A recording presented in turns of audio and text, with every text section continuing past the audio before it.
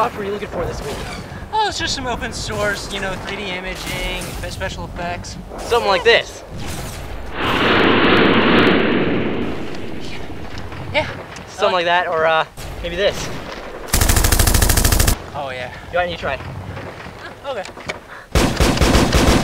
Yeah, so, yeah, something like that. Yeah, I, I think I have just the thing for you. Really? Yeah. What is it? Can, I, can we get to it? Yeah, yeah. Uh, in fact, uh, here, why don't you take the teleportation stick? Uh, yeah, take the teleportation stick and uh, go ahead and get to the studio. Right, just remember to keep your head down. Yeah. Great. How do I get back?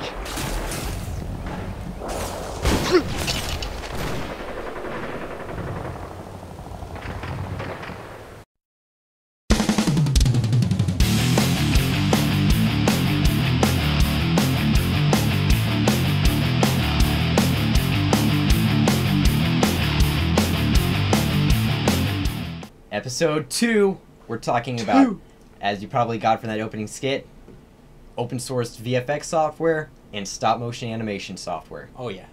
You ready for this? Let's do it. Let's get into it. So yes, VFX software and stop motion animation. Let's go ahead and knock out stop motion animation first. Yeah. Because this is uh, Alright. this is a good little subject, and I love stop motion animation. It's very near and dear to my heart because that's that's really what I started off doing when I started filmmaking. But I was not exactly using a computer. And also too, camera. Uh, stop motion is great if you have a really if you don't have good soft good camera, Yep. good uh, a good computer even. Um, it's not maybe it's not fast. Stop motion can take any processor. Mhm. It, it, it really, like this would be ideal for me for stop motion animation because it's a small computer. I can take it anywhere. Um, actually, what would really be ideal is a netbook because those are tiny. But um, or you can even use a larger uh, computer system. It doesn't matter what you have, but this is something that you can use some basic stuff on. Yep. And uh, while Mike is talking, I'm going to show you on uh, the Ubuntu Studio after you download it where it's going to be located and bring it up. Yep. Okay, so um, don't open it yet because I have to tell you exactly what the program is for or software for stop motion. It is open source called Stop Motion. Hmm. Very, very intriguing name. I'm not quite sure why they would choose that name. It has nothing to do with the subject of what it does, but it's called Stop Motion. Hmm. Okay, um, and it's open Very source and everything. Um, You can get it for free. So go ahead and open up Stop Motion, and this is a great little app. It is the best stop motion program I found for Linux by far, um, and it can take um, really any uh, camera input, just as long as your camera can actually be put through USB, um, you know, it- like have input into a computer. For most instances, you could probably get away with a webcam. Now this one is uh, standard resolution, 640 by 480. They have HD ones that would be great to have. Before you know it, we're gonna have 4K webcams. I cannot wait for that. That's almost hard to believe. I know. I think within two years we're gonna have 4K webcams. Well, you know the GoPro, the new GoPro's coming out, and that's 4K. Yep. 4K I mean, I is get- so on a. GoPro, that tiny little camera. Yep. I mean, that's re- Okay, so we can just plug in our uh, webcam, and then activate the camera. There's a little button to activate the camera. Um, wrong camera. Yep. So uh, go to File. This is a very simple thing to fix. Uh, try. Let me see. We need to find the user preferences and stuff. So go to Edit, No Settings, Configure Stop Motion. Okay. Now the video device we want to be USB 2.0, and there we go. And hit Apply? Apply. Then close it. Okay. Now try to uh, turn on and off the camera. Okay, so we're gonna have to just completely. Uh, oh, we're gonna have to restart the program. Um, that's happened sometimes. So close and reopen. So That's probably cut out. we should have had this plugged in before, but um, so uh, webcam is really one of the best ways to do it. If you have a good lighting setup, you can make a. Up there we go. See, you can have a good lighting setup and make a webcam look as good as anything you really need. Especially something like that really nice Logitech 1080 HD camera. It's a really nice one. Um, so yes, get a good webcam and you can do some great stop motion. So what are some of the wonderful features about stop motion? Now you've never heard of this program really, and No, not really. I just know, you know, the basic of stop motion. It's like you. I'm right here. It could be Lego. You see a lot in Legos. You know, Legos is very Here- popular for that. take a picture. You move. You take a picture. You move. You take a picture, and then after a while, it just comes into a movement. Yep. Now this program, it's It's incredible. you know I'm used to just you know taking pictures and Yep. just going with it. But this is different. What are what's what's up with these uh inter like explain okay, so let's go ahead and explain this interface a little bit. Okay, um, you see where it says number of images and there's a little bar? right here. Yeah, go ahead and yeah, that's it right there. Okay. Um, don't move it. Just go ahead and leave it there. All right. This is for something called ghosting. I love ghosting, especially when it comes to stop motion animation. What is ghosting? ghosting? Is where it will show the previous frame on Ah. top of the current thing that you're actually viewing. So let's go ahead and make an example with this uh, flashlight. Okay, go ahead and take a photo. You can do this by clicking the pa- space bar. Uh, just yeah, just hit the space bar, and it, as you can see up here on the top bar, go ahead and wiggle over it. So be very dramatic. Yeah, right there, you can see we have got a new image. Now, as you can see here, if I were to put my hand in front, why does it look like a ghost? Ah, you. because it's ghosting. So as you can see, if I move my flashlight forward, I can see the last frame and the current what's going on with my camera. So I can see exactly how much I moved. And especially for someone like me who came from you have to really rely on just your image, your your mind. This is so helpful because you can actually see what your last movement was. Yeah, this is great because if you really think about it, it's it's just saving. All, all the only thing that's ghosting is the is the new image, is what it looks like. This is awesome. Now, what up? Now, what's going on with with this with? you can actually uh, tell it how many frames you want it to ghost. So go ahead and uh, yeah increase the frames. Um, so see like right there that uh, is three.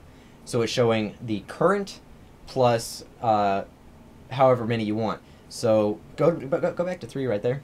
One more. There we go. It's showing three frames. The current one, any movement that goes on within the camera, and then it's showing the past two frames, so you can see how much your progress has been. Um, most of the time, though, you're probably going to need just one frame. Yeah. So, here, take it back down to one frame. And so, as you can see, I mean, you just move it a little bit to the point that you want, and it works great. Now, what happens if you find out that you do this? I've done this so many times with other programs that I can't really see um, exactly what it is I'm doing. So I start to move it, and as I'm taking my hand away, I'm trying to get, I'm trying to do stop motion real fast. So as I'm taking my hand away, I all of a sudden go boom. uh oh, my hand's in the shot. Yeah, So it's all of a sudden boom, you got a hand. and that's where you get a lot of the cut stuff in your stop animation. Yep, that's not good at all. How do we remove this? Just simply hover over, right click. Oh, it's sorry, it's different for this. Okay, you can remove the selected frame, and the selected one is the one where the number, the uh, color is invert is inverted from the rest of them. See how it's white background with a black letter? Yes. That's which one is selected. So, um, so now we don't have that frame. So we can just continue our stop motion animation. So it's in the right spot. We can just continue our stop motion as normal.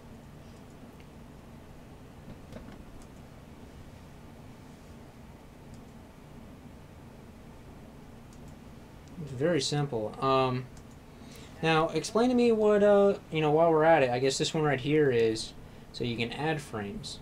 Yes, um, you can add. You can basically duplicate the current frame um, to make several frame, uh, maybe several frames within that shot of it.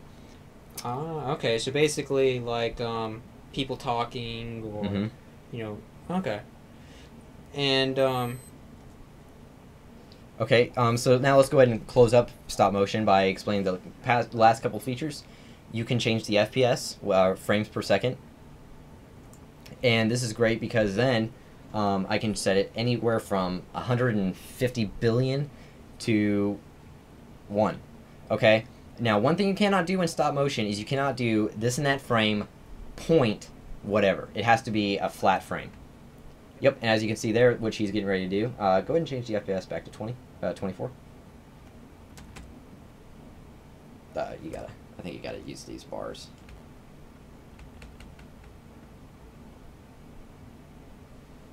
Oh, and also, um, there we go. You, uh, that is something else I forgot to mention. For ghosting, there are different types. You can see differences. So like whenever there's a difference in the frame, you can see where that difference is, which is kind of interesting. So you can line up your past shot a lot easier. Then there's mix, which is what we've been using, and then uh, there's playback. So we can there's our entire animation right there. Going at, I'm assuming it's 24. It is 24 frames per second, which means we don't even have a second of animation done. Um, So that means we can actually slow it real. Yep, you can slow it very far down. And I've noticed that this is what probably a lot of people, honestly, a lot of stop motion I've seen is actually something like A lot of them do 12 Like- frames per second. really 12 frames. That's that's half of normal animation, and you can get it somewhat smooth. The Well, best think- thing to do is 24. Okay. well, honestly, it's a lot choppier than honestly. It's very choppy at 12 frames per second. Well, even well, honestly, with the way it's at right now, it looks very nice. Uh, stop motion. Most most stop motion on YouTube that you see is very A lot of them are using like really low frames per second. it's very choppy. Um, So yeah, we need to go ahead and close this up real quick. So, uh, very great program, relatively basic, um, and also you have the ability to edit the current frame in GIMP. I mean, I, this is just great. Um, really wonderful program. And uh, and one more thing I'm looking down here is what's up with this? that is your edit in GIMP. You can launch GIMP and edit something like a, a matte painting over over your uh, animation. Nice. Yeah. So that that's pretty cool. Um, so stop motion is great. I highly recommend you check it out. It is the best stop motion program I've ever used. I love it. Um, but it's only available on Linux, so you might need to get Linux, or you could dual boot. Which I'm doing right now. Yes. If I have my way, he probably won't be dual booting for long. no. I'm gonna keep my dual boot. Yeah, really, you do need Windows for some things internet based. Um, but anyway, so yes, stop motion is great. So now let's go ahead and move on to visual effects. So, what program did I find for visual effects? You ready? Wait, if you are a viewer of this show, guess before I say it. I already know. Go ahead. Blender. Boom! Blender. Blender is amazing. Go ahead and open it. Now, Ubuntu Studio comes normal with uh, 2.69. If you download Ubuntu Studio, uh, at least 14.04, um, it comes with 2.69. Um, you can update it pretty easily using sudo commands um, to be the most current release. And there will be a link in the description to this article you can see on the screen right now. Um, this is a great article for a very, very simple way to update three sudo commands. So now we have the most current version of Blender, um, and it's quite nice. uh, there's some great updates with 2.71 as far as volumetrics and you know just cycles and all that kind of stuff. Um, so, what is Blender? Uh, Blender is Exactly. What is Blender? Blender it's mostly known for its 3D animation capabilities. It's got really good 3D animation capabilities, but one of my favorite things to use it for node-based compositing. There we go with that node-based compositing. What exactly is node-based compositing? Well, that's a very good question, Michael. I mean, node-based compositing. I'm doing I'm very much putting on the uh, host voice. But node-based compositing keep it simple though. Yes. Keep it simple. Node-based compositing. Uh, are you familiar with After Effects? Of course. I, I've, I've messed with it. Yeah. okay. That's layer-based. You Okay. literally put one layer on top of another, on top of another, on top of another. Like Photoshop also. Yeah, sort of. And uh, GIMP and all that kind of stuff. Okay. You work in layers. Um, and they're going vertically. Whatever is at the top of the layer heap is at, is what's at the top of your view. Um, which is actually a lot of the way it is with node-based compositing, except node-based compositing, has tiles and you have strings connecting them, and it's going horizontally, not vertically. Kind of like when you showed us the um, the lightsaber video. Yep. And also the um, Cyclops the episode. Cyclops episode. Yep. And you went into detail on how you did it, which those are great episodes to watch to really understand. Link in the description again. Yes, and I'm, that's where I'm learning some of my stuff too. I appreciate that. but uh, he's uh, sucking up because I'm his boss now. but so yes, node-based compositing. I have found a lot of. You're fired. You don't pay me anyway. or whatever. You can stay. But node-based compositing at first may seem restricting to you, especially if you're used to layer-based compositing. Honestly, though, I have come to find so much freedom within node-based compositing that I love it more than I did layer-based when I was using layer-based compositing. Because I used to use old programs called uh, FX Lab Pro and Composite Lab Pro, and they were great layer-based compositing systems, a lot like After Effects Okay. a much base, much more basic though. And I gotten very comfortable to it, but then I went over to node-based compositing. I'm like, what the heck is this? I, I can't I can't just simply do a green screen shot with light warp and all that kind of stuff. But the more I do it, the more used to it I am, and the more free I feel, because I mean it just it's so good. Layer, uh, node based compositing really is good. In fact, uh, go ahead and open up the node based compositor. Uh, where would that be at exactly? Okay. Um, this is something about Blender. It does have a slightly interesting user interface, but here's the thing: you can customize the entire interface. So if you will come down here, you have all these different options where you got the double arrows. You have all these different options for the different views and uh, tools. Um, one we want is Node Editor, and if we come down here and go into Scenes and click Use Nodes, we now have the ability to use nodes within the node-based compositor. And uh, the backdrop that you just clicked is that like basically the background? Okay, um, bring up screencast. As you can see, this is from the Cyclops episode. Um, the backdrop is that image you see in the background. It allows you to see what it is you're working on. It, it gives you a, a, a live, active view of what it is you're doing. They're not on. They're not seeing us. Oh, but it gives you a live, active view to see exactly where you are. Um, it's a viewport. A backdrop is a viewport that goes behind your nodes. And we'll get more into this in the future because we're actually going to do an episode where we're going to edit a basic scene inside of the node-based compositor of Blender. So Blender is awesome. Did I mention that Blender was used on several previs shots for Captain America: The Winter Soldier? Yes, you did. To you, I did. To them, I didn't. Yes, um, Captain America: The Winter Soldier, relatively noticed movie. A few people liked it. Um, they used Blender for several previs shots. Previs. That's basically like um, just getting the the basics laid out. So, It's a moving storyboard. moving sto- storyboard. Okay. Which is very important actually for when you're doing a actually a professional like when you're going to be spending a lot of time doing it. Right. Now, I'm not sure if I should mention his name or not, but there's a man who used to work at Rhythm and Hues. Okay. He found out about Blender while he was working with their proprietary software that's absolutely expensive and just really high end anyway, software. expensive. Yeah, really high end, expensive software. And he found out about Blender. He gave it a try. Now, um, he was laid off because of uh, economy and everything. Well, he's now using only Blender by choice. He can afford, he can get any software he wants, and by choice, he's using Blender for his visual effects. Um, And if you really look at some of the uh, movies and just video clips that people have used with Blender, you can get some really nice visuals out of it. link in Um, the description for Tears of Steel. Um, acting sucks, but it's still a good movie. I mean, it's it's still pretty good. Yeah. Tears Uh, of Steel was a short film by the Blender Foundation, the people who actually make the software. They do short films to try to grow their software.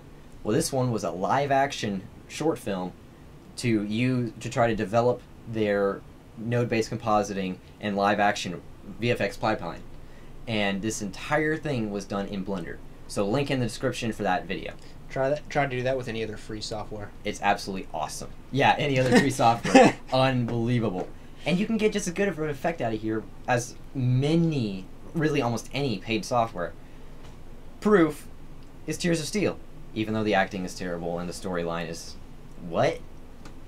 Okay. Besides that, So what can you do in Blender? We've already covered the fact that you can do 3D modeling and node-based compositing, but you can also do motion or camera tracking. You can track the movement of your camera, so you can add objects, 3D objects, into your live-action scene, um, as you can see here. Um, then you can also do non-linear editing. I do not like it, and if you're not familiar with non-linear editing, uh, stay tuned for a future episode, because that's going to be all about non-linear editors, open source um, and we'll go over what exactly a nonlinear editor is. But it has a nonlinear editor. I don't really like it. It's very basic. It doesn't have very many features. It's very hard to do, just basic cut and crop. Um, but I think they I think they might start developing that a bit more in the future. But it's there if you want to use it. There are some people who prefer that. I don't know. But um, so those are all the things that Blender can do, and of course it can do a lot more. It it has painting capabilities, uh, you know, like image editing and stuff, masking. It, it's a great program, and if you're not familiar with it, get familiar with it. and we'll be getting more into that in later videos. Right. Um, We're gonna do an entire episode just on editing in the node-based compositor. and and later on, I'll be having my own you know sub channel with this too, and Yeah, your own show. yeah, my own show. And basically, what I'll be doing is just showing you, honestly, how to do stuff with stuff around the house, like maybe even your cell phone. Yep, his show is going to be about how you can get away with so much. You can get so much with so little. Exactly, and that's really what I want to base a lot, especially my early stuff. Is, you know, yeah, I don't have a lot, you know. I don't have a camera. I really don't have it. Well, if you got a a smartphone laying around, or honestly, a tablet that has a camera with it, which most tablets nowadays do, an iPhone, whatever. I mean, or an iPod. You got a camera. You can make some nice things. Um, and with programs like Blender and everything, you can make some really good visuals also and so we'll be getting more into that and also you know lighting and and all kinds of stuff so just just be sure to, to stay tuned and yeah, subscribe and keep an eye out for his show coming very, very soon. Within, yes Within a week, maybe two weeks, something like that.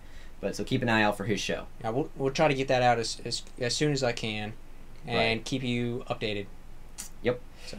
All right, so uh, in the future episode, like we said, we're going to be doing some stuff with Blender, and uh, both of these tools are very solid. If you want to use these for almost any project that has that they actually are pertaining to, like visual effects for Blender or stop motion for, because you can't use stop motion to do image editing.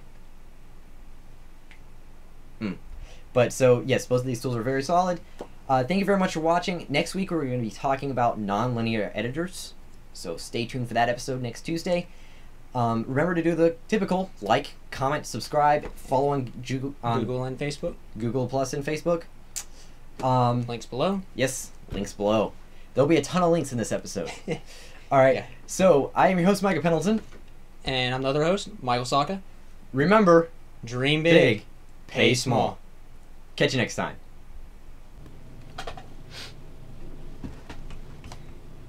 And do keep in mind, I'm kind of teaching you, yes so you want to keep in mind that you're almost like a student. i'm the dumb person that doesn't know anything Exactly. He's finally getting it. No. Okay. Ready? Right. Because we can get this out of the way pretty quick. Yes, In fact, I'm going to grab my webcam. and we will be back after I get the. This is going fine. Almost there. i'm glad this is going to be cut out Yep.